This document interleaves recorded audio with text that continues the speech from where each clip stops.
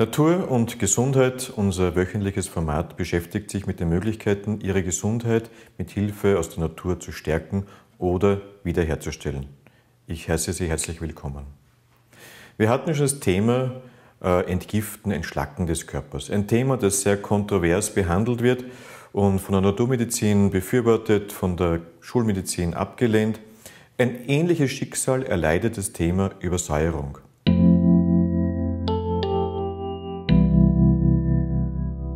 Der Begriff Übersäuerung ist schon seit langer Zeit Inhalt einer Kontroverse zwischen der Naturmedizin und der Schulmedizin.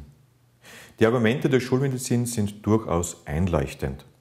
Die Schulmedizin sagt, eine Übersäuerung des Körpers kann es nicht geben, denn an verschiedenen Orten des Körpers gibt es auch verschiedene pH-Werte. Das ist der Wert, mit dem man einen basischen Zustand oder einen sauren Zustand nachweisen kann.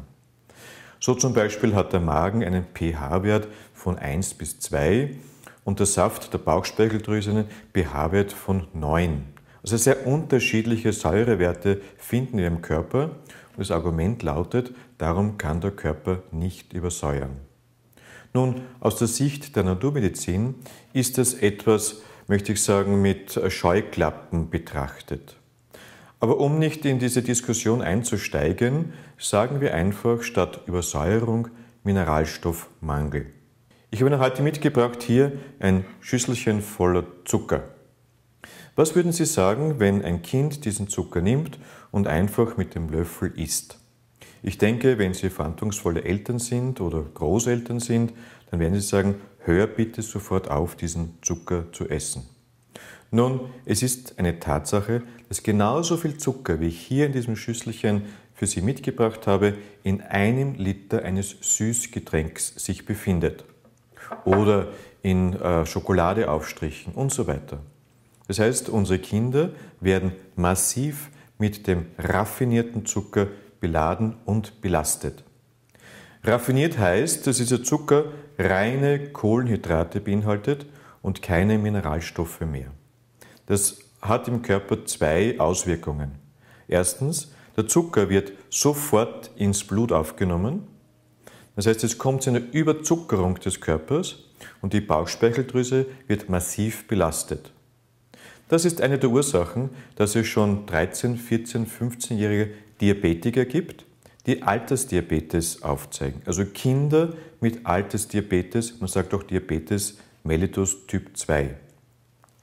Die zweite Folge aber ist, dass wenn der Körper diesen Zucker verstoffwechseln muss, dann braucht er Mineralstoffe. Er braucht Magnesium, er braucht Kalzium und so weiter. Er braucht die komplette Frucht, die uns die Natur gegeben hat. Hat der Körper das nicht, dann fallen im Körper durch die Verstoffwechslung von Zucker auch Schlagstoffe an, die sich wiederum im Bindegewebe ablagern. Und das nennt man dann Mineralstoffmangel oder auch herkömmlich Übersäuerung im Körper.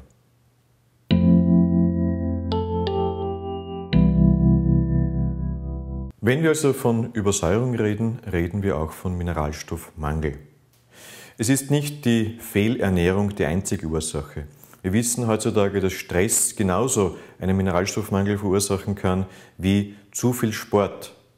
Wenn jemand viel Sport macht und viele äh, Mineralstoffe ausscheidet über den Schweiß, kann einen latenten Mangel kommen. Die Folge kennen Sie, vom Muskelkater angefangen bis zu Muskelfaserrissen, aber auch Gelenksproblemen. Die Aufgabe heißt also, den Körper mit Mineralstoffen zu versorgen, dass die gesamten Stoffwechselsysteme, die es im Körper gibt, ordentlich funktionieren können. Welche Mineralstoffe sind die wichtigsten, die wir dem Körper zuführen sollten? Natürlich an erster Stelle wissen wir, da steht das Magnesium.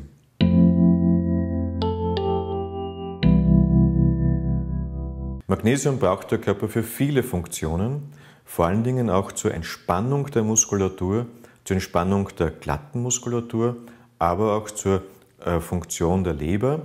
Wenn ein Magnesiummangel im Körper herrscht, kann die Leber die Giftstoffe, die sie ausscheiden soll, nicht in voller Form auch ausscheiden.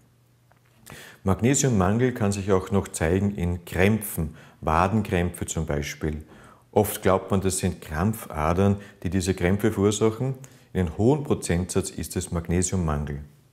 Auch äh, Blutdruck, der zu hoch ist, oder Verengung der Herzkranzgefäße können eine Ursache haben in Magnesiummangel und man kann sie damit ganz leicht beheben. Magnesium, also ein Mineralstoff, der schon lange bekannt ist und der dem Körper zugeführt werden sollte.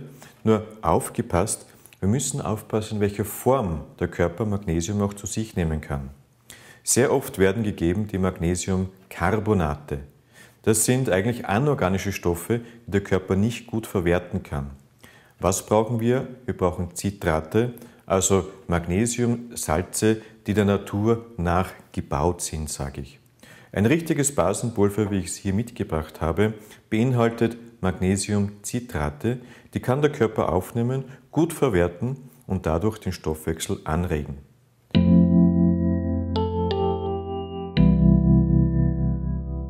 Wir wissen, dass in Österreich allein 600.000 Menschen an Osteoporose leiden. Eine Krankheit, die schwerwiegende Folgen haben kann. Ein älterer Mensch stürzt, vielleicht auf die Hüfte stürzt, dann bricht sehr leicht der Oberschenkelhals und eine schwere Operation ist dann die Folge.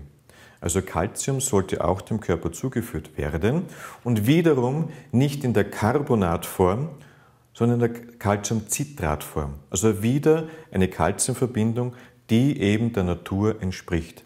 Calciumcarbonat ist Ihnen bekannt als Tafelkreide.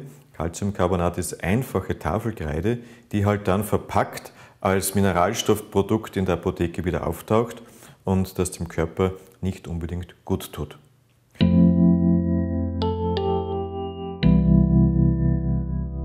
Ein weiterer Mineralstoff, der für den Körper lebensnotwendig ist und den die Medizin leider vergessen hat, ist Silizium. Silizium ist das zweithäufigste Element dieser Erde. Die Erdkruste, der Erdmantel, ist ca. 30 Kilometer dick und 70 Prozent vom Erdmantel besteht aus Silizium. Kommt es im Körper zu Siliziummangel, dann kann einerseits die Folge sein, dass die Nägel brüchig werden, dass die Haare vielleicht vermehrt ausgehen, dass die Haut schlaff wird, aber auch, dass das Immunsystem nicht richtig arbeitet. Silizium ist so ein kleiner Alleskönner. Es ist das Mineralstoff der Schönheit.